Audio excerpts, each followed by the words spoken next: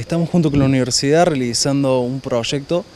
para poder eh, imitar el, invernáculo y las canchas de crías que tienen acá para reproducir especímenes ornamentales y también de arbolado. Eh, también para reemplazar el arbolado público y no tener que tener una dependencia económica, sino con el largo de los años poder lograr la independencia y tener árboles propios. ¿Cómo surgió la posibilidad de esta articulación, de poder venir acá a capacitarse? Bueno, Marcelo Gresana habló con, que es el, secretario de Servicios Públicos, habló también con los ingenieros agrónomos acá y se llevó a cabo una conversación. Y ahí surgió que nosotros estamos planteando hacer un invernadero desde el año pasado,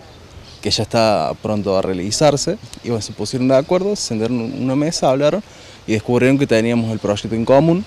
y por lo tanto eh, ahora estamos trabajando en conjunto también con gente del ente de prevención ciudadana y servicios públicos. ¿Cuáles son las inquietudes que ustedes tienen en cuanto a un arbolado urbano que sea amigable con el ambiente pero también amigable con eh, las veredas?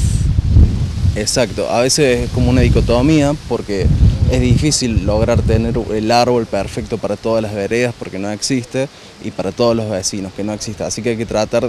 de hacer eh, varios tipos de árboles para que encuentren distintas realidades, veredas más angostas, veredas más grandes, edificios que tienen menos luz, parques que son más abiertos, al ser más abiertos reciben más luz, pero también están más la intemperie de que se los rompa, de las plagas, también de la misma helada, porque si bien eh, lugares céntricos donde hay pocos edificios, donde hay muchos edificios, perdón, el problema que van a tener es la falta de luz, pero una de las ventajas es que las temperaturas son más altas y son más constantes a lo largo del año.